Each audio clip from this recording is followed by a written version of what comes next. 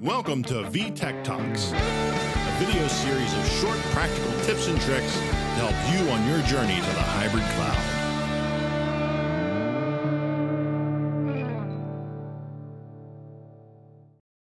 Hello, my name is George Kobar, and I'm a Senior Technical Marketing Manager for VMware's vCloud Air. Today I will be talking about configuring your vCloud Air Edge Gateway with a syslog IP address. A key element of designing a secure hybrid cloud is getting visibility into the network traffic of your cloud-based applications. VMware vCloud Air supports the ability for customers to collect information about the traffic coming to and from the Edge Gateway through the use of a syslog server. The Edge Gateway provides advanced networking services like stateful firewall, NAT, load balancing, and VPN. By configuring your vCloud Air Edge Gateway to submit syslog data to your syslog server, you can then set up alerts or notifications and build reports with your preferred tools. The placement of the syslog server is entirely up to you. You can configure a syslog VM with vCloud Air or send your syslog messages over VPN to an existing syslog server. Both are shown in this example. Access to the Edge Gateway log data today is accomplished through the vCloud API. VMware is currently developing more elements. The vCloud API is a way to programmatically interact with a vCloud Air service. One of these new elements is in the Gateway configuration type. Within this element, VMware is supporting a new action on the customer's Edge Gateway, slash configure syslog server settings. Here we can configure the IP address of the syslog server.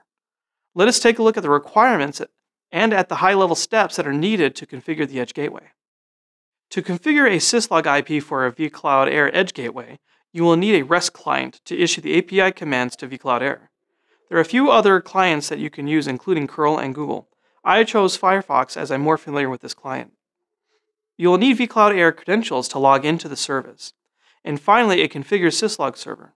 I use vRealize Log Insight in this demonstration. We will first need to log into vCloud Air using REST client to obtain a token.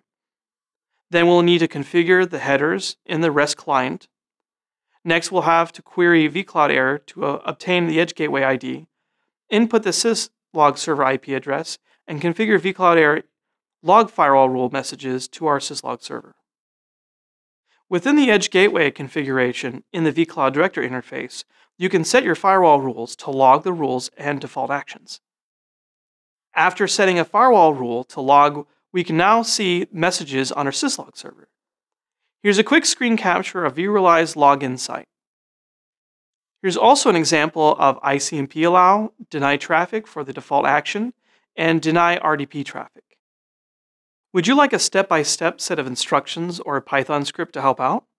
Scott Schaefer of the vCloud Air Architect team has written a Python script to assist if you're not familiar with the vCloud API.